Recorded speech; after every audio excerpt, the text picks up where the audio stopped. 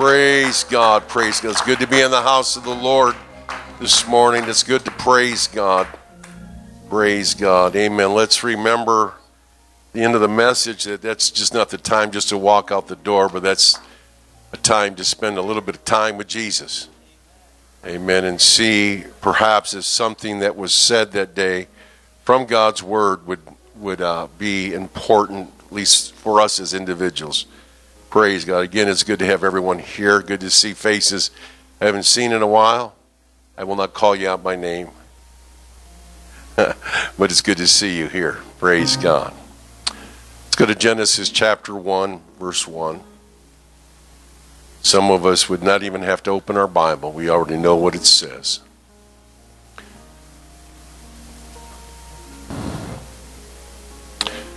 Genesis 1 and 1. In the beginning, God created the heavens and the earth. No apology. Just the Word of God opens up with just that statement. In the beginning, God created the heavens and the earth.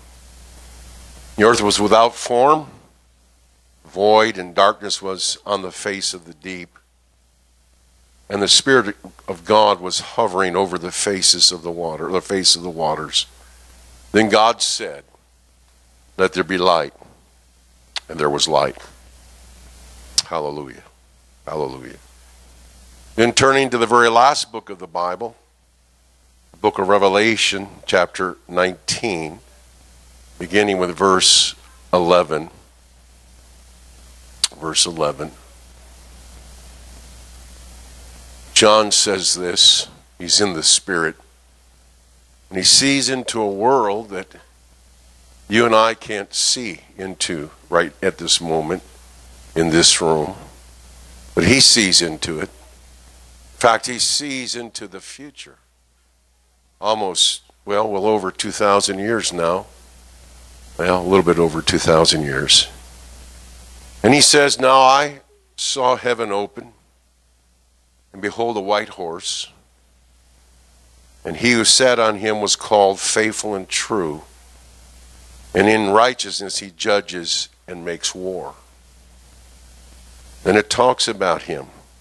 His eyes were like a flame of fire, and on his head were many crowns. He had a name written that no one knew except himself. I'm waiting to discover that name. I don't know it, and neither do you. He was clothed with a robe dipped in blood, and his name is called the Word of God.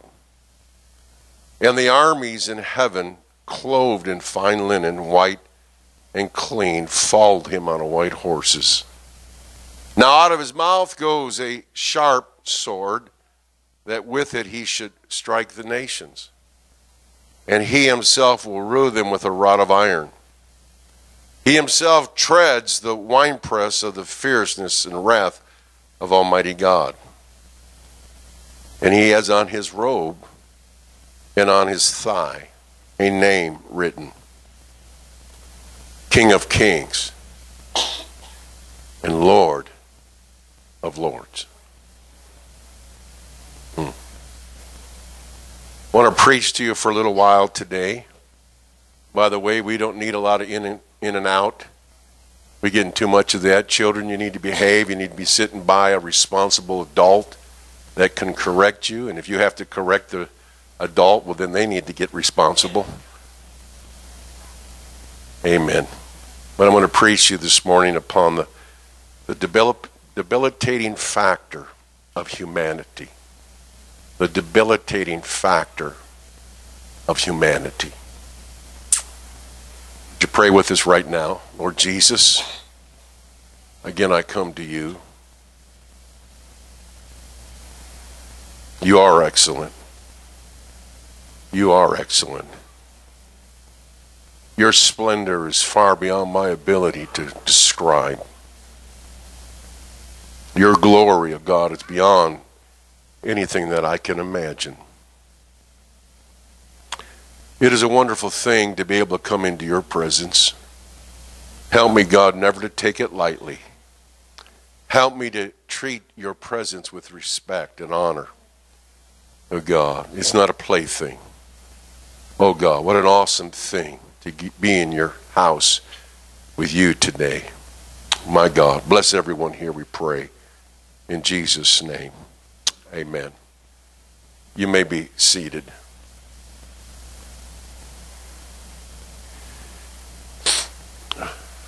My God. My God.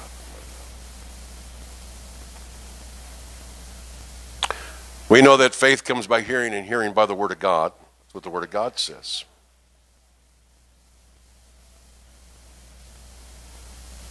Every time, most every time you will read in the Scripture when a, a Jewish individual prays, invariably they are going to talk about the God who created the heavens and the earth.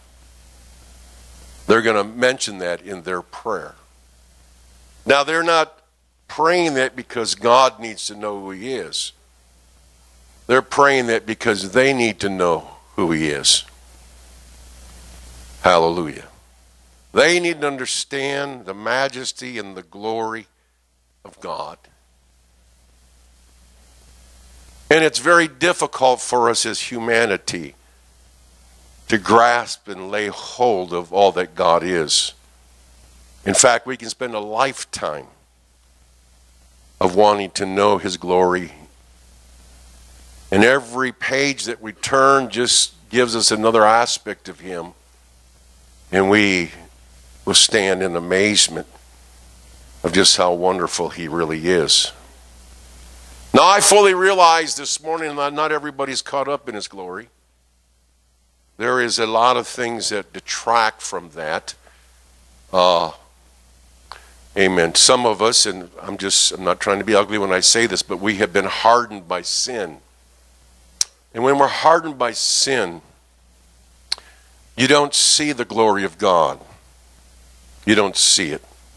In fact, you could walk right by it and not even recognize it with people who have come into his presence and whose sins have been washed away and who have become very sensitive to him, they find themselves in a position where sometimes when they're in his presence, it's so overwhelming that they have absolutely no words that they can add to what's going on. Now, I read to you this morning and I was wondering how your response would be as we read those scriptures.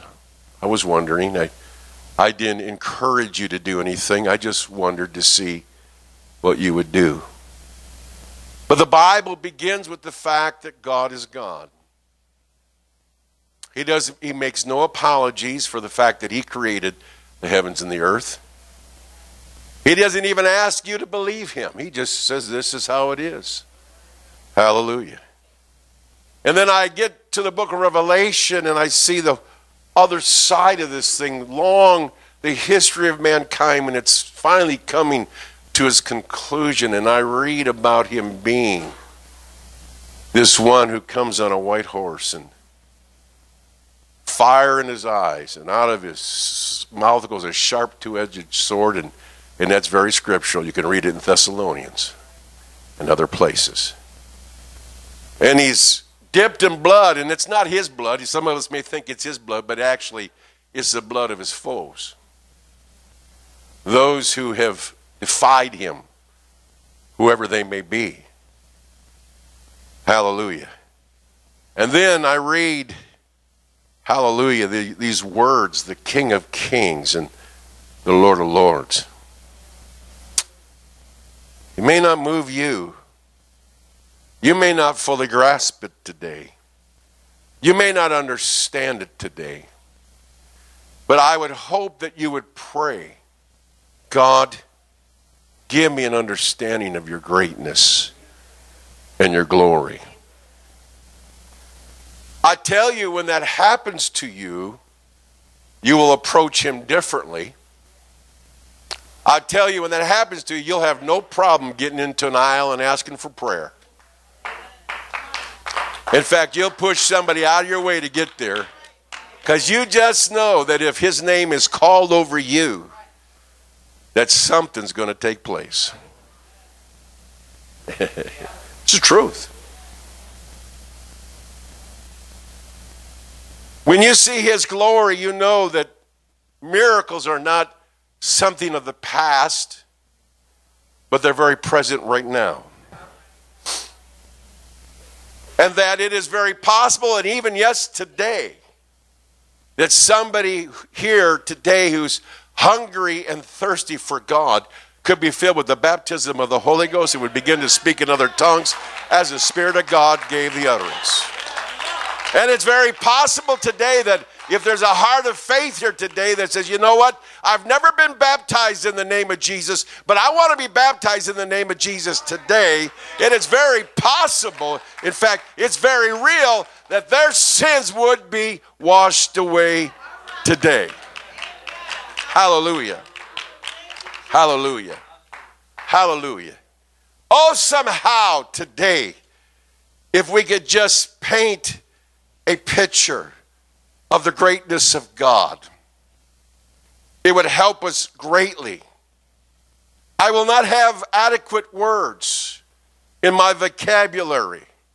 I will not be able to give you some kind of a speech that somehow would enthrall you, amen, and grab your heart, amen. I just, I'm inadequate in those areas.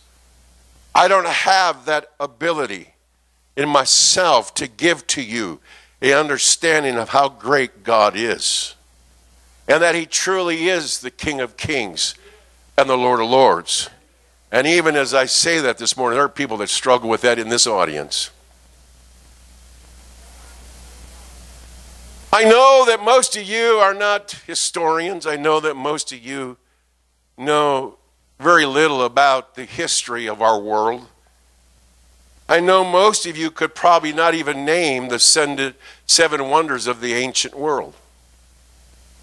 I know that we think that we are so advanced and so so uh, creative in this day that there's never been anything in the past that quite rivals us, amen, in our intellect and our abilities. But I'm here to tell you, you're sadly mistaken. You would say, well, we've invented the computer and we, we have the ability to store upon, I mean, its files, just reams of knowledge that are just incredible. And I would say with you, that's true. We can do that today. But I can tell you about men that lived long ago that had understanding and wisdom and knew things that are no longer a part of our history as a people, and they have become obscure to us. I don't know if you've ever read the, word, the, the book, The Art of War. It's required reading in the military today for leadership. It wasn't written in, in the, the 20th century, it was written long ago in China. Hallelujah. And today its philosophies are followed. And you'd be surprised what those men knew back then, what they'd come to an understanding. I suspect sometimes they just didn't get as distracted as we are. We're distracted by everything around. We're distracted by entertainments. We're distracted by television. We're distracted by the internet. We're just distracted by a whole lot of stuff. And most of it is quite trivial. But we're distracted by it. But they weren't. They were thinkers. We, we see the evidences of the past, and I'm going really slow, and somehow I got to pick this thing up. We see the evidences of the past, but amen, but we don't see how opulent that society was, and we don't we don't grasp the we just see its ruins and and amen. We know that somewhere in the past, amen, it would they had to have an incredible society. We don't know much about the Aztecs or the Mayans. We don't know much about the Assyrians. We don't know much about the Edomites. We don't know much about Petra. You ever heard of Petra? Amen. Petra. Amen. The ISIS has tried to destroy all those things in that area. Amen, because they're monuments and they don't they want to completely deface them and rid this world of, of historical memory.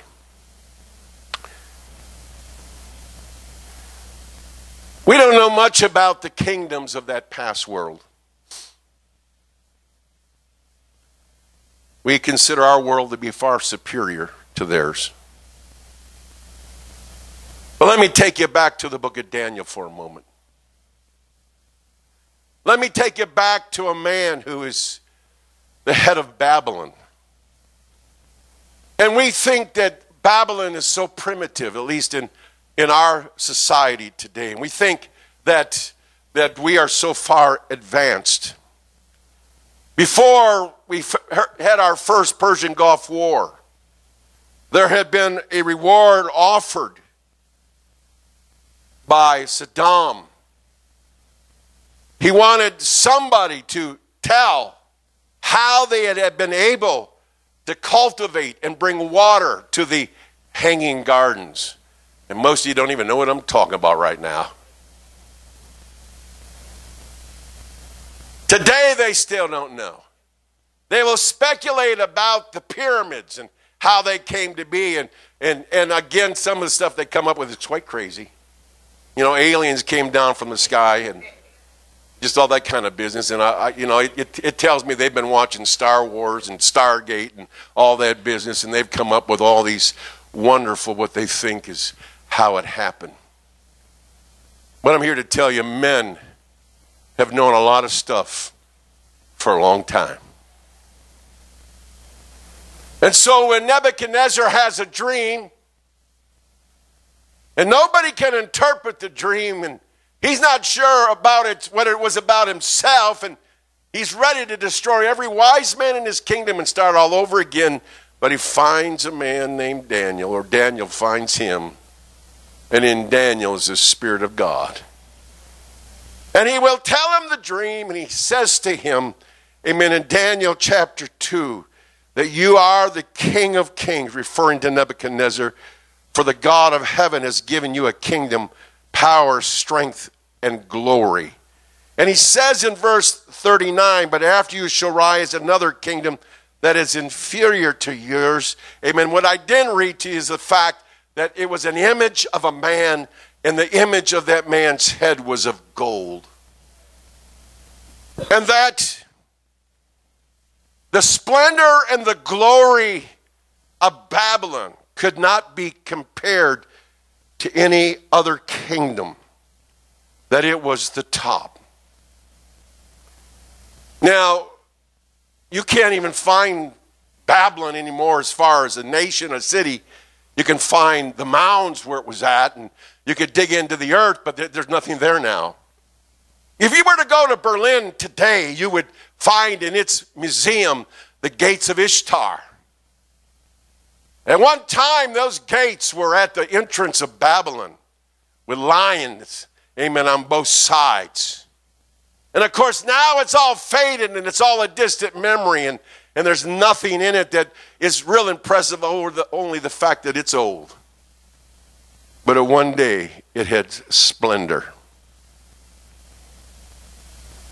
And if you were to read in Daniel here, chapter 2, God begins to explain through Daniel just how things is going to be. And he talks about a kingdom, of course, of gold and a kingdom of silver and then bronze and then legs of iron and then toes of iron and clay.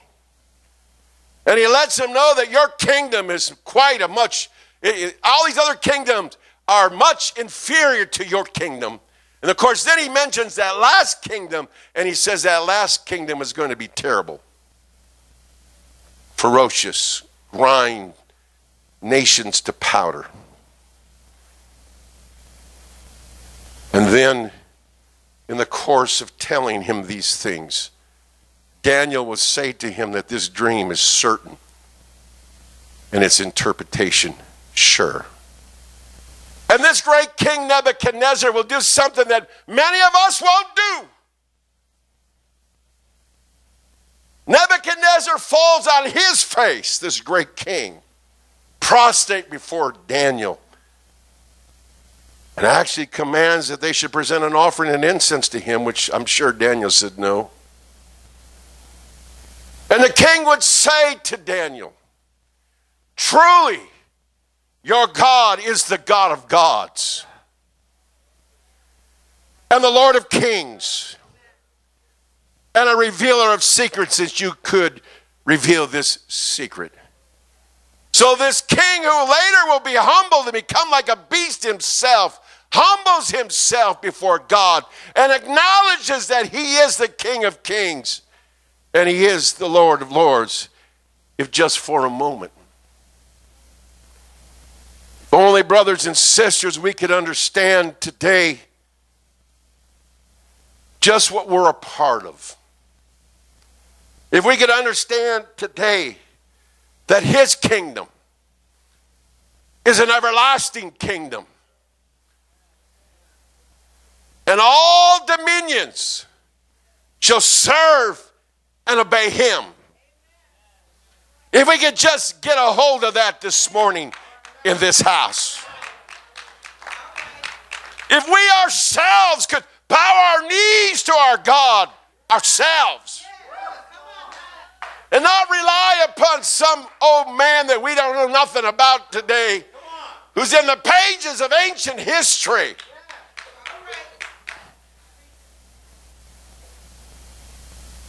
Paul himself, in writing to Timothy, would say that at the Lord Jesus Christ appearing, amen, which he will manifest in his own time, amen, verse 15 of the sixth chapter of 1 Timothy, he who is blessed and the only potentate.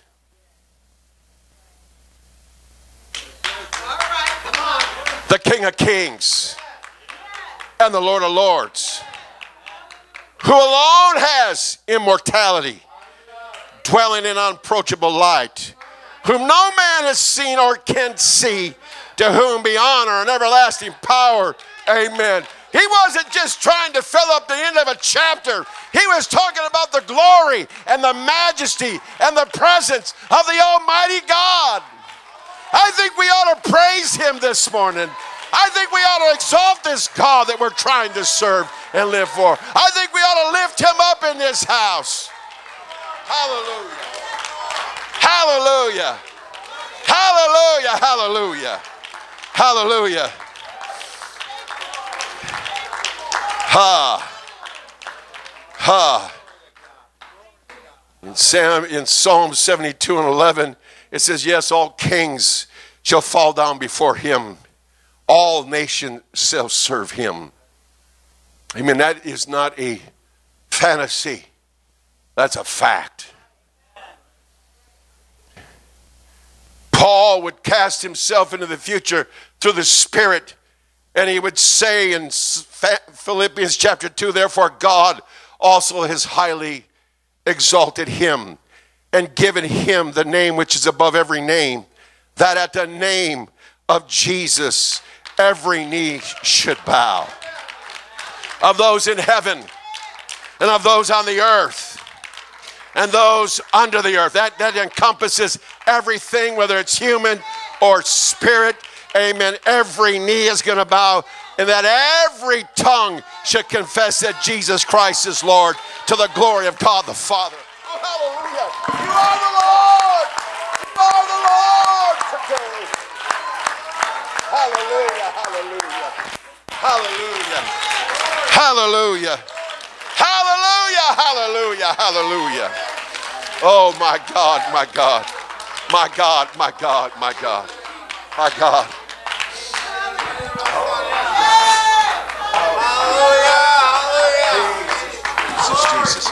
Jesus, Jesus, Jesus, Jesus. Hosea would say this in the 11th chapter. He would say in verse 9, I will not execute the fierceness of my anger. I will not again destroy Ephraim, for I am God and not a man. Hallelujah. You must remember who we're serving today. He's not a, he's not a man, he is God. For you that are trying to figure God out, and for you that are criticizing God for what's happened in your life and all the things that you've gone through, all the things that you've struggled with, you got to know something today. The book of Isaiah 55 and verse 8 says, For my thoughts are not your thoughts, nor are your ways my ways, says the Lord. For as the heavens are higher than the earth, so are my ways higher than your ways, and my thoughts than your thoughts. You ain't on the same page with God. You don't know what God knows. You don't know His ways. You want to know His ways. Oh God. Oh God. Janice said it. Janice said it earlier to us. Amen. We we are moved by a beat. We are moved by music. But oh, can we be moved by the fact that God is God, and that there's nobody like Him?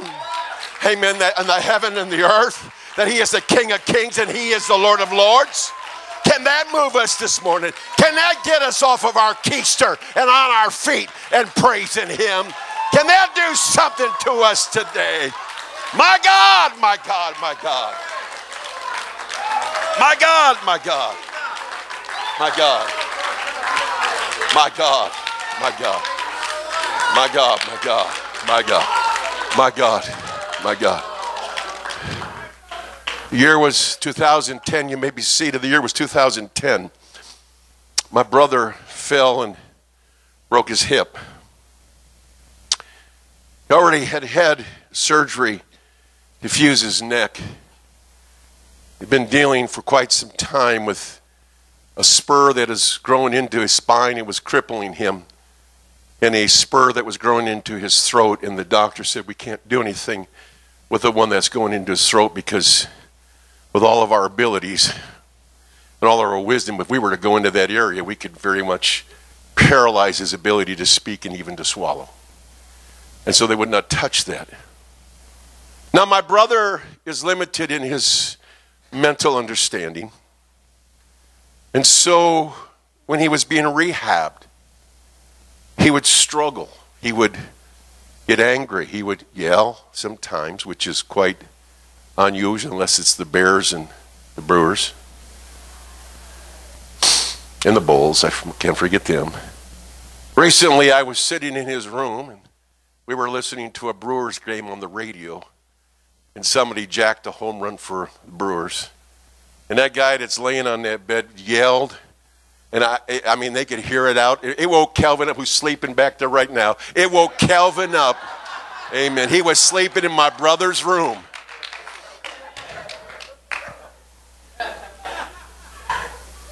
It did. It woke up the guy that was sleeping in the bed across from him. It sort of woke me up too because I was in a slight daze myself. But he, uh, when it came to rehab, he just he fought it. He he would not cooperate, and so because they can't force you to rehab, he wasn't in rehab. And so I watched him as he began to wither. If you see him today, his legs are very, very bony, very thin. His arms do not have the strength that they had at one time. In fact, I went back to when my daughter got married, and I looked at a picture of him. He had gone to the wedding with us in the, Indi- in the Indiana area, and, and he looked so much different than he looks today. Now, if he needs to go to the bathroom, they've got him in Depends. If they want to get him out of bed, they got to get the Hoyer lift and they got to put him in a chair, and he will remain in that chair until they take him out of the chair. He can't shave. He can't wash his teeth. Or wash, yeah, wash his teeth, yeah, brush his teeth. He, he can't wash his face. He can't take care of himself. Now, if you'd have told him and if he could have understand some years ago what would happen to him, I'm sure he'd have did things differently. But you see, now he's so debilitated that he, unless God does a miracle, he will never walk again. He's debilitated. He just, he is, has none of those abilities. His strength has been reduced, it's been impaired, enfeebled, and he's very weak. That's where he's at today. He's been debilitated. Well, I'm here this morning. We've been getting a little excited about God. But let me finish this message up by talking to you about the debilitating factor of humanity. That there is something that cripples us, that there's something that weakens us, that there's something that impairs us, that makes us extremely feeble. You start reading about it early in the scripture. You read about in Genesis chapter 3. You read that when Satan says to Eve, You'll be just like God. You're not going to die. That she will eat of it and give it to her husband. And one of the things that so attracted her to it was the pride of life. The ability to achieve on your own. The ability to be have so much intellect that you can all figure everything out and make it happen just because you're just smart. So she eats of the fruit and and of course her husband also eats of the fruit. I don't know what they were thinking. I do know that they had a wonderful relationship with God. I do know that they were very unique. The Bible says that they were a little lower than the angels. That's what the scripture says. I, I, I know those things. I, I know, and amen. And I, he was literally the governor of the entire earth, that God had put him on the earth to subdue it and reign on it. You can ask for a higher position. But somehow, just that attraction of just being like God was enough to grab their attention and they would eat. And then when God would address the issue, and Adam came out of hiding and he said, Well, I was naked, God, and I was afraid. And God would say to him, Who told you you were naked? I begin to see this debilitating factor of humanity. It was the woman that you gave to me. It's her fault I'm like I am right now.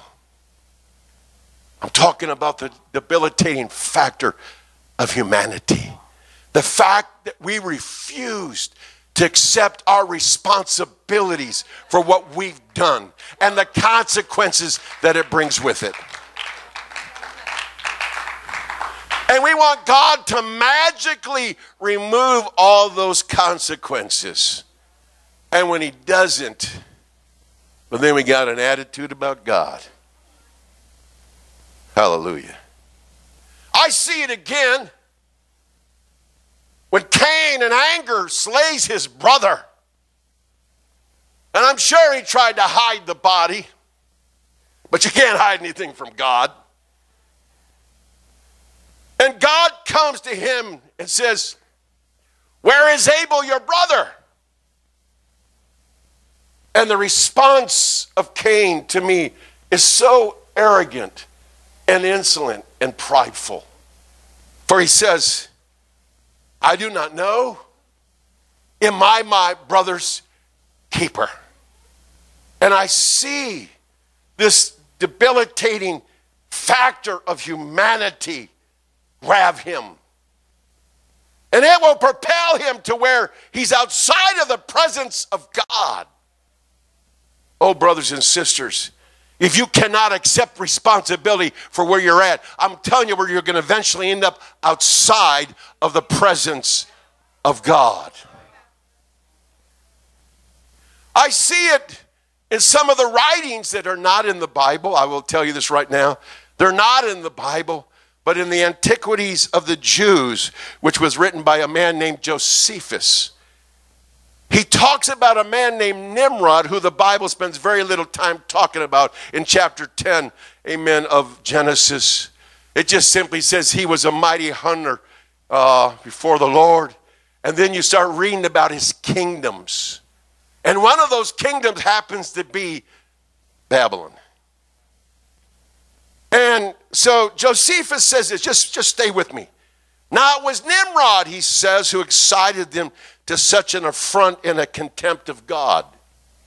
He was the grandson of Ham, the son of Noah, a bold man and of great strength of hand. He persuaded them not to ascribe it to God as if it was through his means they were happy, but to believe that it was their own courage which procured their happiness.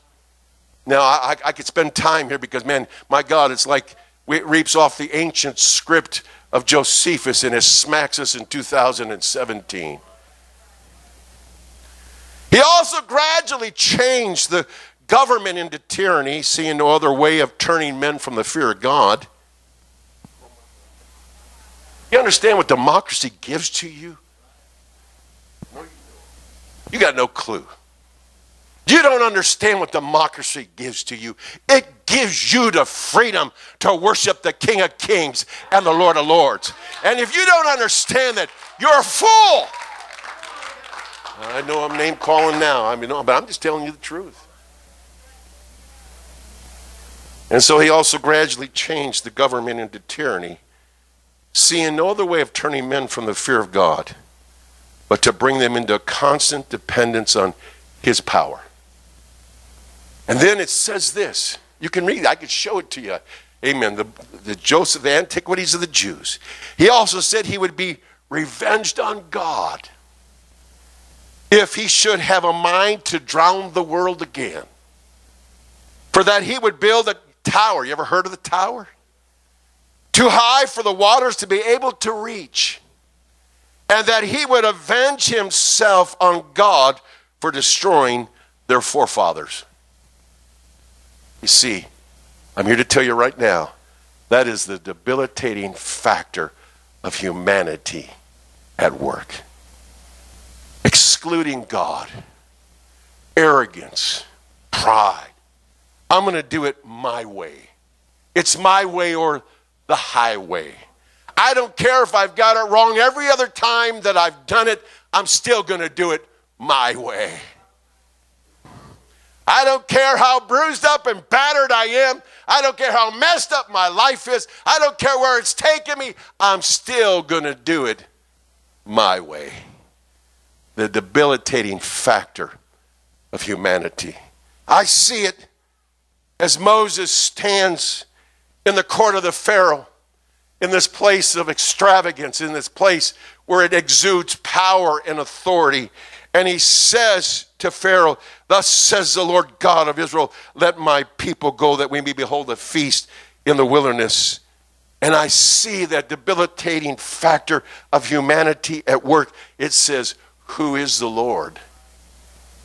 That I should obey his voice to let Israel go. I do not know the Lord, nor will I let Israel go.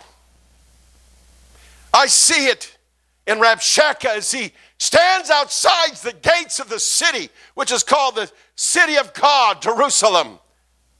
And he says to them on the walls, Who among all the gods of the lands have delivered their countries from my hand, that the Lord should deliver Jerusalem from my hand? You're going to find out. If you read the rest of the story, you're going to find out. Because they did find out. I read in Psalms 10 and 4 the wicked in his proud countenance does not seek God. God is in none of his thoughts. Okay, I, I, don't have time to expound, but you hear what he just said. The wicked, they don't seek God. If you're not seeking God today, what category does that put you in? And if God is in none of your thoughts, what category does that put you in?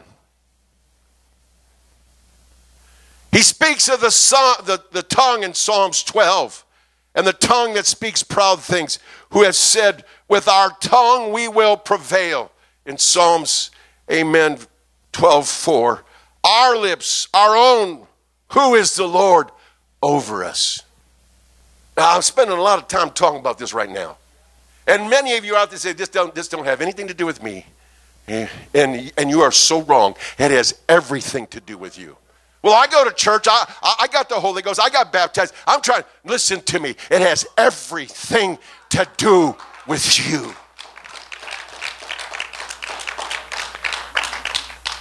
The extreme is what it says in Psalms 14 when it says, The fool is set in his heart, and many of us could finish it. There is no God. And because of no God, they are corrupt and they have done abominable works. And there is none who does good. I'm talking to you about the history of man. I'm talking to you about the debilitating factor of humanity today. That's what I'm talking about. I'm preaching to you right now. I'm coming right where you live. Amen. Before this is all said and done, you're going to have to look at yourself. And if you refuse to look at yourself, you're being very, very foolish. All of us in this room should humble ourselves and bow our knee to Him and acknowledge that He is the Lord. But, but some of us have already convinced ourselves that we do that. We just, we just do it in our own way. Our own way. Our own way, preacher. Don't tell me, yeah. Just that very spirit is an indication of where you're at. So when Samuel's wept all night, because Saul disobeyed God. And he's cried because he had all the hopes that this man would be the leader that Israel needed, and he has failed dismally. And he comes, and, and Saul just gives him a performance like many of us do. Or we give the performance I've done what God commanded me to do. Well, if that's the case, where, where's the evidence? Where's the fruit?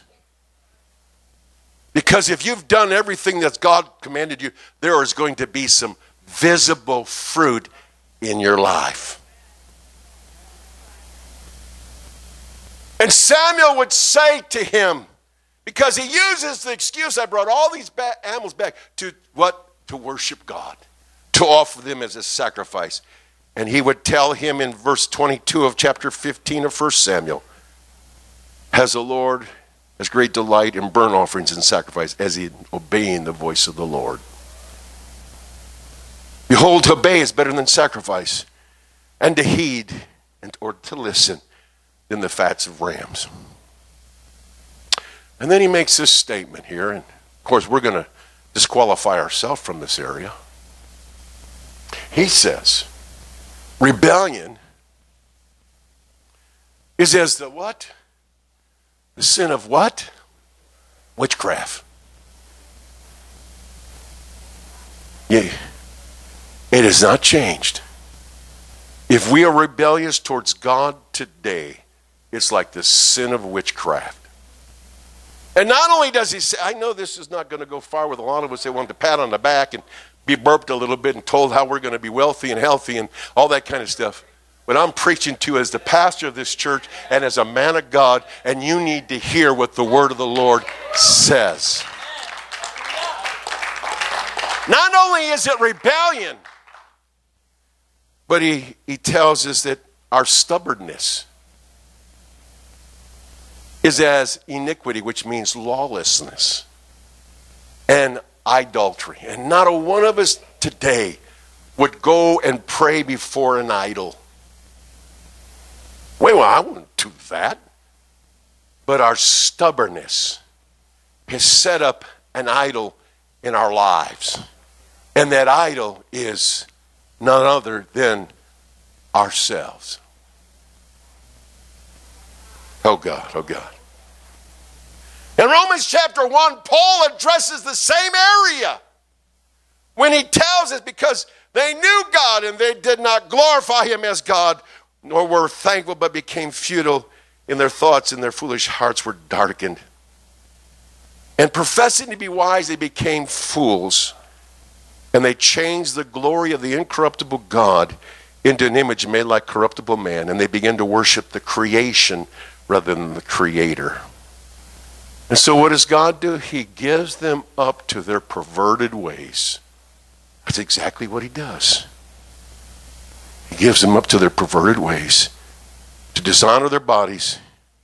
And they exchange the truth of God for the lie. What's the lie? you're God. You ain't God. You even had a day when you've been close to being God. And they worshiped and they served the creature rather than the creator. Hallelujah.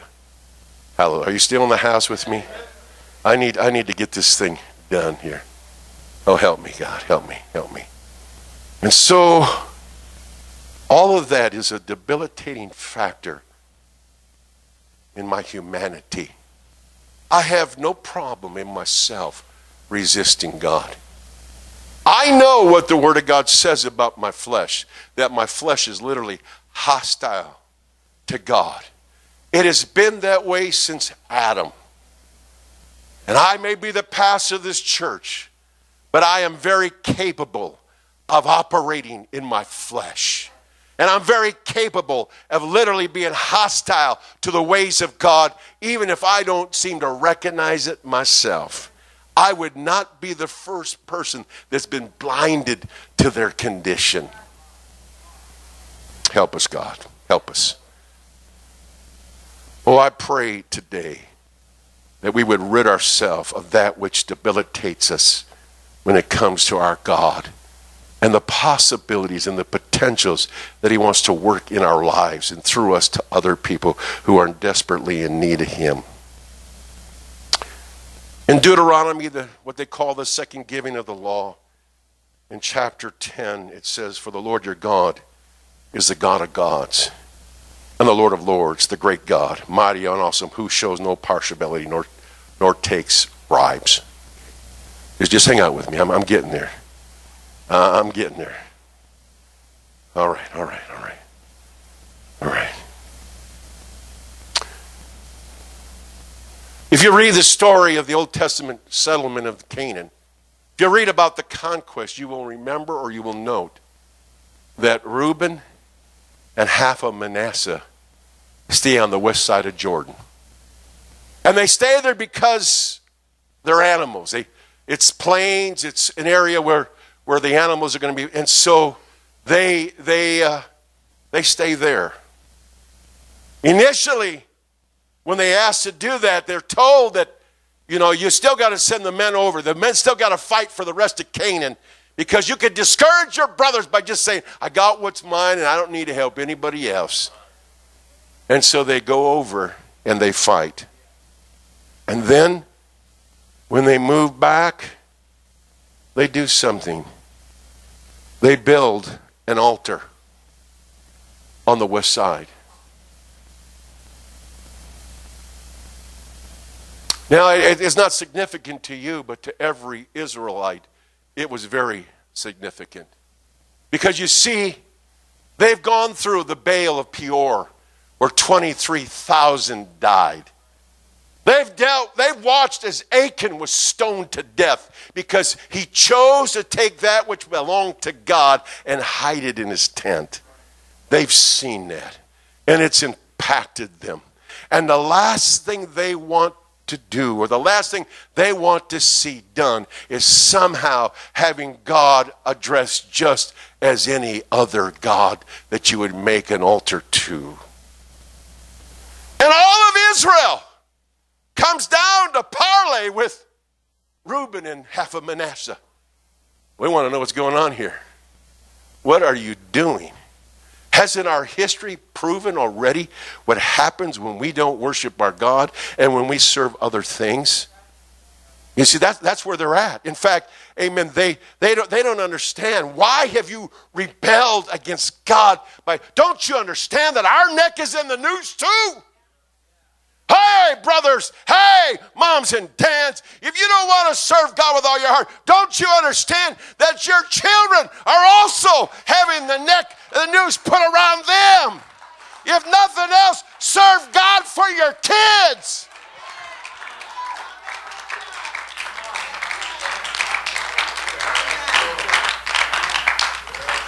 And so they and so they gather, and I'm telling you, they They're, it's a serious business. This is not a plaything to them. In fact, they're willing, if they hear the wrong answer, they're willing to fight and they're willing to wipe out every Reubenite and every Manasseh individual that's on that side of the river. They're ready to do it. Why? Because they've come to understand how important it is to serve only God. And they've come to understand that the best thing you could do is fall on your face before Him and obey Him in every aspect of your life. And so they find out. The only reason we're building this altar, this is just merely, in my words, a replica of the time that we offered sacrifice here, all of us. And in the years to come, when we're all dead, dead and gone, and and some of you that were not there, and if you if you want to understand that, you just go back to Joseph. He was the savior of all of Egypt. But in the process of time, they forgot what Joseph, Joseph had done for them. And they enslaved his people and his family. He said, So listen, the only reason that we are building this, this altar is as a witness to all of us. That when they come and say, What's your part in this? We say, We fought with you too. We worship the same God you worship. And with that, the tension will ease out and they'll go back to their homes. The debilitating factor of humanity, the subtleties of it Many of us are so confused right now. We don't even understand that what we're doing, the subtleties of how we operate. We make decisions, we don't even consult God. We even make major decisions that don't insult God or consult with God. We don't, we don't go to, amen. One of the things you always read about David when he is right, he's always asking and inquiring of God. If you want to be a man after God's own heart, you got to learn to inquire the Lord. Should we do this? Should we go there? Should we do that? Is, is it time not to go? But we do our own thing. Do you, do you know that the Bible says to submit to those that have the rule over you? Did you know that? It says to obey them for they watch for your soul. It, it just says that. Do, you understand that the anointing doesn't flow up, it flows down? And then in our disobedience and our lack of submission to God, it removes us um, from under the spout of the anointing. That if you want to be used of God, you better stay in your place. You better be submissive to God and to submissive to those that God has placed over you. I know it sounds like I'm beating my own drum right now, but I'm telling you, this is not my drum, it's the Word of God. Our arrogance, our defiance. I ain't listening to you. I'm doing whatever I want to do. What does it matter what you think? You got to understand that it's, it's just a little deeper than I am. You thought you were just talking to me. Oh no, there was one in the room that heard everything you said. Hey, listen, you that are tormented by the devil, the first thing you, you got to learn is submission. We can't help you. We can come and we can dance around your house. We can play the music. We can anoint your windows. We can, we can call on the name of Jesus. And if you're not in submission to God, it ain't happening. I'm sorry. I can pray and fast for you. And if you will not submit to God, it ain't happening. This is, this is how it works, ladies and gentlemen. You see, so what, what some of you are feeling right now is that debilitating factor of humanity that begins to risk uh, to fight against what it hears. Now, I, I know this, this sound, you, you, you place me on your level. I laugh and I joke with you, but I am really a man of God. And I am actually the pastor of this church, believe it or not. Um, so, so that does put me in a position that's just a little bit above you, if you please. But I'm not supposed to glory over it. I'm not supposed to be a Lord, amen, lordly over everybody. No, I'm supposed to be an example. That's what He's called me to be. And so, as an example, I must submit myself to Him. Because I want to be under the anointing too. So, the, those that have, are just troubled all the time, the first thing you've got to do is ask yourself, God, how have I got to a place where I'm not submitting to you? What area of my life is lacking in this area? Right? You won't do that. I'm not trying to be pessimistic. I'm just telling you that you're going to continually struggle. And all the medications in the world are not going to help you.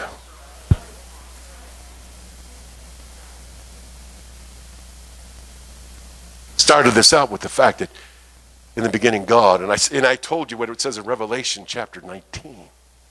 He's going to be, he's going to be, he is, but he's going to be over all the earth, the King of kings and the Lord of lords. I, I am coming home. I am coming home right now. Amen. This is this is hope. Sister Janice, please come to the organ. This is hope for you. I didn't say I was done. I'm just saying this is hope. This is hope. And so the man of God, Paul, the man of God, Paul, gets knocked down on the road to Damascus by the glory and power of God. And he is himself a man that thought he was worshiping God, but he found out he wasn't worshiping correctly. And he was actually opposing and fighting God. And so when he's laying in the dirt there and he comes to an understanding who God really is, that he is the Lord Jesus, he says, Man, what would you have me to do?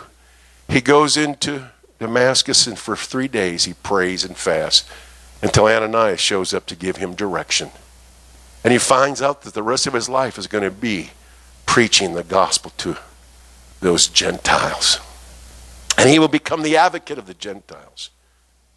But, but he has an issue. He has, a, he has a problem. He has something that he really struggles with. Everywhere, if you read the book of Acts, everywhere that he goes, those Jews show up that hate him. I mean, they travel long distances to go disrupt the party. They show up everywhere. And when he goes back to Jerusalem, even 40 of them conspire to kill him and they make a vow, and the Roman soldiers and the, the government have to spirit him out of Jerusalem into Caesarea. And so here he is. Here's the Apostle Paul, this man of great understanding of God's Word, who's been caught up into the third heaven, who has knowledge and understanding that none of us have today in this room. Who the Apostle Peter will say that he writes some things that are hard to understand. And I'm in absolutely agreement with brother, brother Peter. What is Paul talking about sometime, man? I just don't get it, Paul. Who will say to them, because of your carnality, I cannot share with you my understanding. All right, that man comes to God and he's got a problem. And I'm sure he'd been thinking about it a long time. I can see him as he says to you know, God, if you do something in this area, I could do a much better job. I know you've worked through me, but I'm telling you, God, if you would just help me in this area, I could do better. Paul calls it a thorn in his flesh. Anybody got a thorn? Don't raise your hand if you got a thorn in the flesh. Just keep it to yourself. Perhaps you have a thorn in the flesh just to keep you where God wants you to be. And so when we read the story in 2 Corinthians 12, we're reading a man who now has an understanding of why God has done what he's done. And he's come to realize because of the abundance of revelation that he had received, that this messenger of Satan was going to continually buff him. Why? Paul would say, Lest I be exalted above measure. What's he saying? He's saying, I understand the debilitating factor of humanity. That I could be filled with pride. That I could say, Look what Paul's done. My God, people have been raised from the dead in my ministry. I have, I have traveled more miles than anybody else has traveled. I've been beaten more than anybody else been beat. I've been in the sea a day and a night. I've been shipwrecked three times. I've been in perils of things that none of you have ever experienced. But God says to him, No, son, I know you want to me to remove that from you. But then he says something that is so important for us to understand. My grace is sufficient for you. You know, God, you could remove a lot of things out of our life and make it a lot easier for us. May make us more empowered. If you would just do it. And, and we don't understand what he's doing. That it's through our weakness and through those things that it humbles us to depend upon him. And he wants us to say, as the Apostle Paul said in 12 and 9, God said to him, My grace is sufficient for you, for my strength is made perfect in weakness. You see, our biggest problem is our human factor. And we don't understand it, but it literally is debilitating in the work of God. Secretly, we come up with thoughts about, I could do the job better. You know, if I if I was in that place, I my God, I'd really show them how it's supposed to be done. Hey, wise guy. Here's the mic. Come and show us how it's done.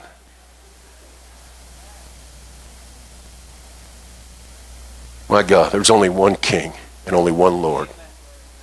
And I sure ain't him. I just got a song. I don't know what you're planning on singing. Bow down before the Lord, worship him.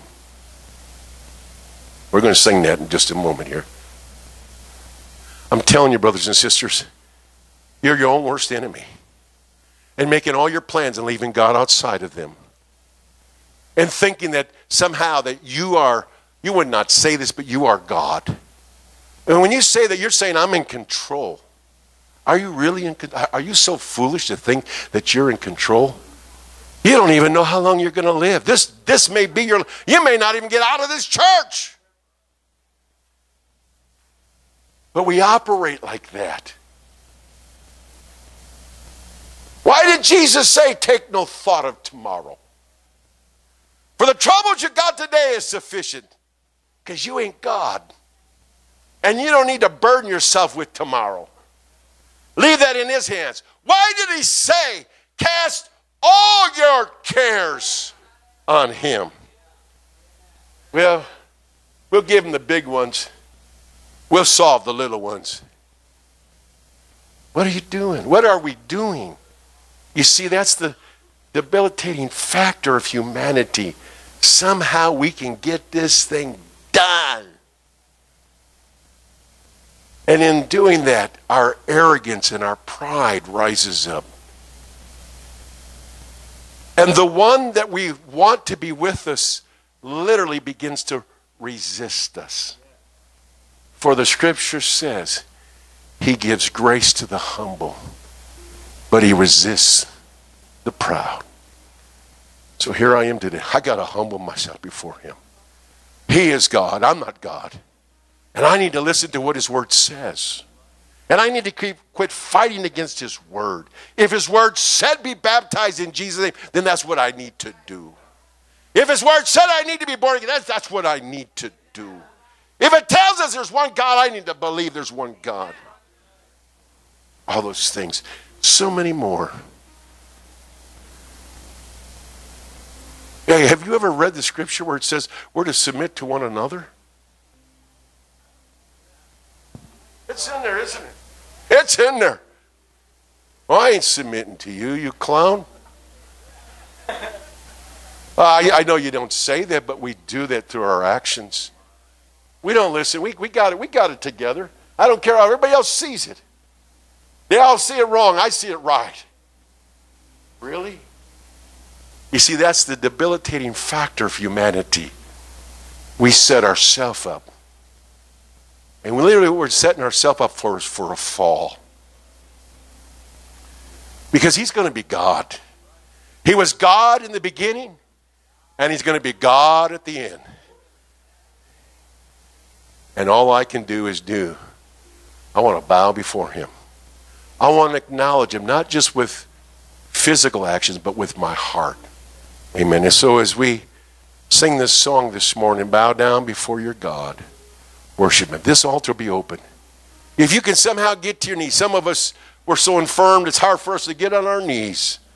But if you're, you're able to get to your knees, this would be a good day to just drop to your knees and acknowledge that He is God and confess that He is the Lord with more than just your lips, but with your heart. Amen. It's time to sing and it's time to respond to God. The debilitating factor of humanity. My God.